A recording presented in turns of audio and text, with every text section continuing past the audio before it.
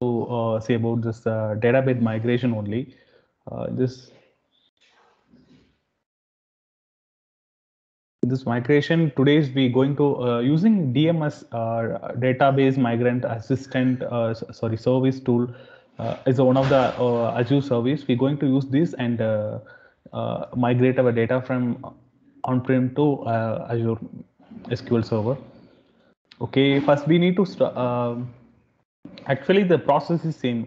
whatever we do in this DMA before task data migrant assistant using that and data uh, migrate service also same, but it, this is the uh, inbuild of an Azure services.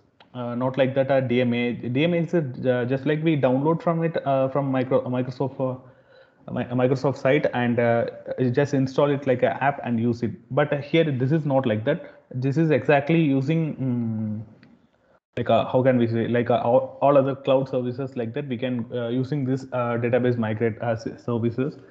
Then uh, first we need to uh, create the two virtual machine here VM1 and, and uh, another two VM2 this uh, considers uh, VM1 as an on-prem SQL server and uh, uh, consider as VM2 as an SQL server on Azure VM okay then we move to move on the step one just we just create the on-prem environment and download the some basic required softwares like SSM as and SQL Server. In uh, moreover, uh, last uh, two videos we um, we discussed about that.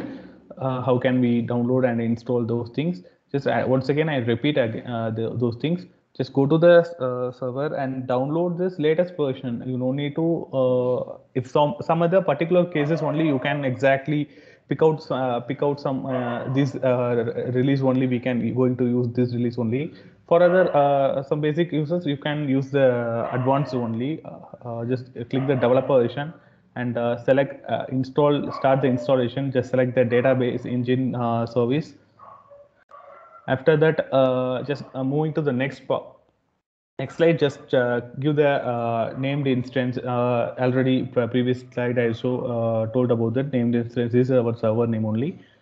After that we can give the uh, select the authentication mode here then we can give the password for this both uh, enter the password and reconfirm the password and uh, uh just add the current user here then after that uh, the user is added just click ok then if you want to change the directory uh, if you want to change the root directory or anything else you can change here. Then um, moving to the next part just finalize review and just click install.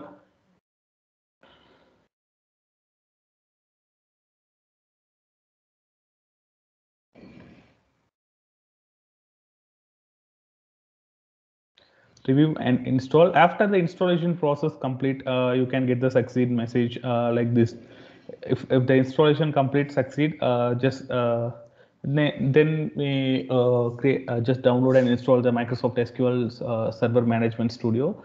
After that installation of just double click installation micro ssms just click it and it's required only two more minutes. Within a couple of minutes it will be complete this installation. Then after that go to the um, go to the Microsoft uh, just start button and just click uh, select the Microsoft SQL Server Management Studio 18. Uh, then move on to after that start that uh, you can get this uh, like a pop-up. Then just you can give the server name here. Just you need to give the vm name backslash and your server name in the server name. Else if you're not uh, aware about that means just give the dot backslash and give your server name and just select the SQL ser uh, service authentication and uh, just log in using this SA is a default password here and give our password whatever we, we will create during this uh, SQL creation.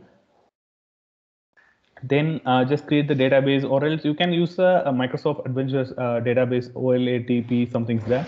You can use that and just import that thing uh, here just for the sample purpose. though that's why I just create a simple table here then after that execute it's successfully executed ready to uh, just insert some more uh, some more information to there uh, this uh, table. After that we want to just uh, using this azure database migration service just go to the uh, microsoft azure page portal and just click this search for and type azure database migra migration service. Just click ok.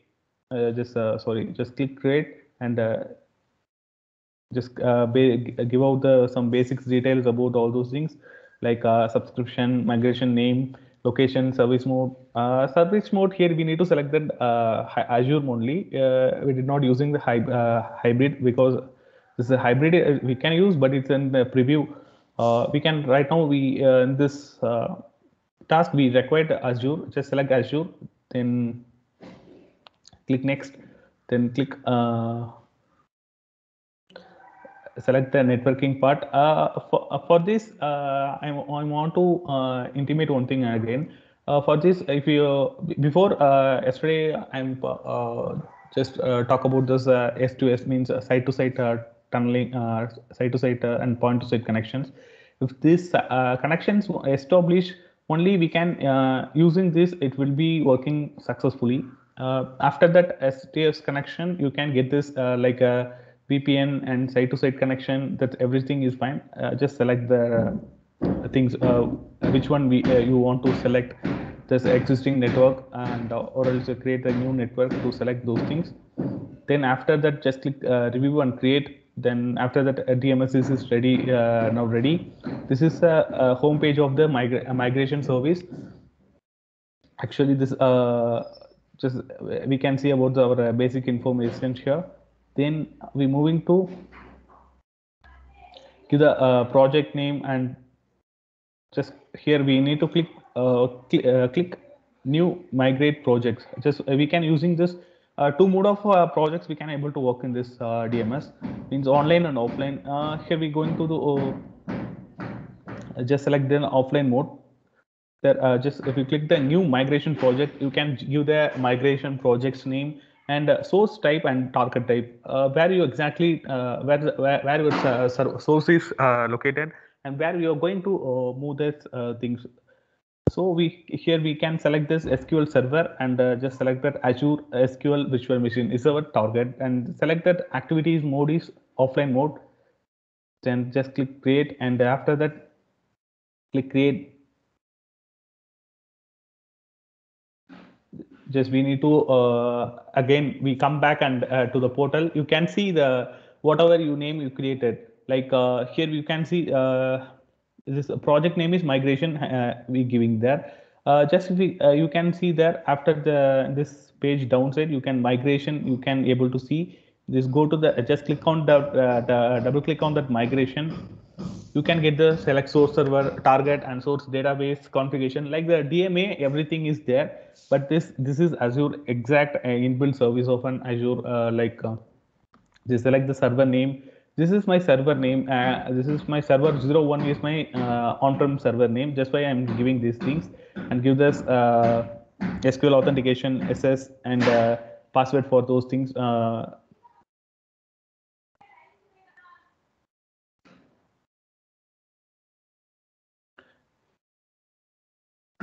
if we select this uh, trusted certificate uh, for that uh, we need to create a certificate for those things. If it if we did not create any certificate you're getting this uh, like this uh, error. For those things you need to create this certificate. Uh, below mentioned these things are already in previous video. I already explained about this how can we create the certificate and everything all those things. Even though i explain once once more again just uh, this is the code for those things just click it uh, just copy this and thing paste in this uh, PowerShell. You can get a create in this uh, certificate and go to the certificate manager. You can download it and wherever you use uh, want to use just use that uh, export the exported certificate. Just click on uh, just go to the create run button and, and go to the certificate manager page and download export those things. Here you can just use the current user and uh, these all those things happen inside the certificate manager. That's why i'm uh, uh, showing this picture. How can we export the certificate uh, just click the paste uh, personal certificate. And uh, these are the steps we're going to do that. Just open the certificate manager then start run mmc means certificate manager or else just this is a short form for this is to quickly uh, access it. Just go to the file and add, remove the snap in, and double click on the uh, certificate and select your computer account local uh, just select the computer account nothing but this is uh, already we selected a current user or else uh, uh, local local machine like that this this is our certificate just go to uh, select it and go to all task and uh, use export then click next here. And uh, yes uh, export the private key. If you don't know want uh, no uh, select no. Then you can select this uh, .pfx format. Uh, some in some cases we need a .ce or uh, based certificate. For those cases we we know uh, just in, front of these things we just select no means this both cases are enabled. If you want p pfx you just give the x s s then only you can just download this uh, uh, pfx thing. Just after click ok then just give the password. Just uh, uh take the password type and uh, give the password here. Once password is confirmed if the certificate is downloaded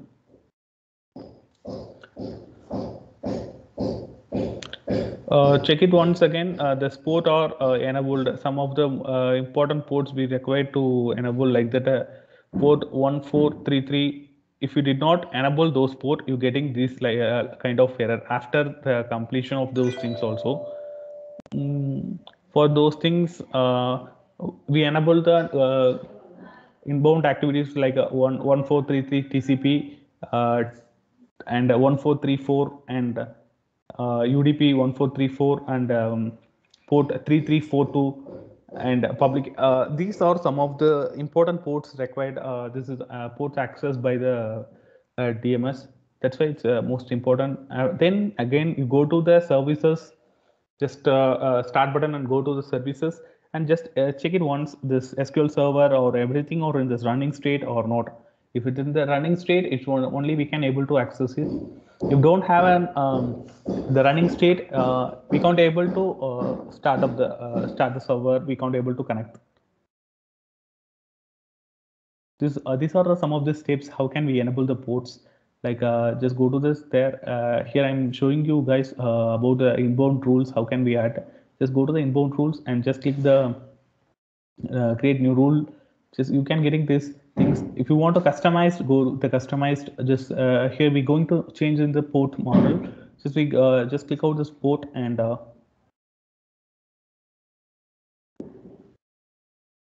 and uh, select uh, uh, rule what what whatever you, you are going to apply like a TCP or else a UDP. if it is just all port, just click on the all port. If you want a specific local ports, just give in the specific local port and give that number like uh, here I'm going to select the TCP and special port is number is 1433. Just click on that and next and give the name for those things. Allow this connection, give the allow for this connection or whatever you're doing this and uh, click OK. There's three domains rules, uh, domain, private, public uh, for all those things. Just click OK. Then after that, give the name for those uh, what this rule name and give the name and save these things Again, come to the SQL Server Configuration Manager. And once again, we're going to check all those uh, are running properly or not. If they all, all those are running and TCP and pipes are enabled, check, uh, check it out once again. Just go with this SQL uh, Server Network configuration, just TCP enabled or not. See in this uh, next slide, I'm showing this about this. Go to the protocol server 101, shared memory and the name pipes, TCP IP, these are enabled here uh, this is nothing but just uh, whatever just uh, name name for giving these rules uh, in this two slide before we giving this uh, 1433 is our uh, TCP port no? the, that just we give that that's why here we can just create that give the name for TCP portal and just click OK for that finish it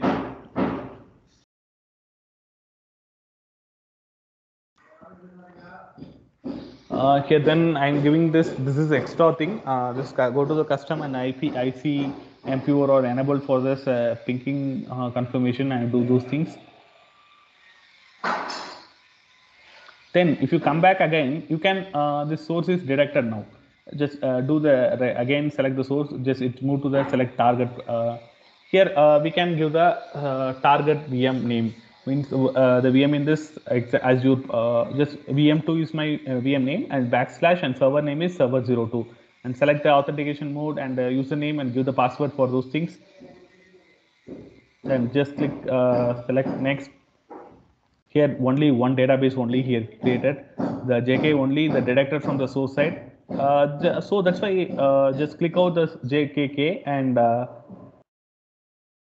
just click on uh, network share. Uh, this is a network share path. Uh, in this DMA, we already saw, saw about this uh, network share path and uh, uh, all those things. Just recall those things and create the network share file and give that file path here. And just click, just next summary, give there. And a project's name uh, for our this migration we're going to give this migration project one that's why this uh, server name and target server version and source everything of summary is displayed here and start migration give the start migration. This is uh, like this uh, you getting this migration. After that jkk is um, completed. The migration status will be succeed. Target database figure will be uh, like if we go to the target uh, means azure sql we can find those things. Like uh, this is our previous code here. This is our migrated code here. Jkk he's my uh, migrated code here. There uh, that's it guys about this uh, dms task. Uh, anybody have uh, any doubt on those tasks anything we need to retake retake of the session? Guys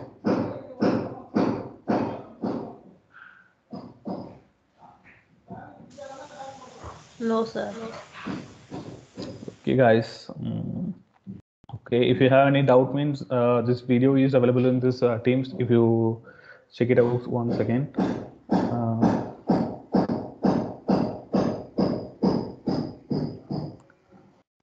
okay. Uh, thank you, guys. Uh, let's stop this recording.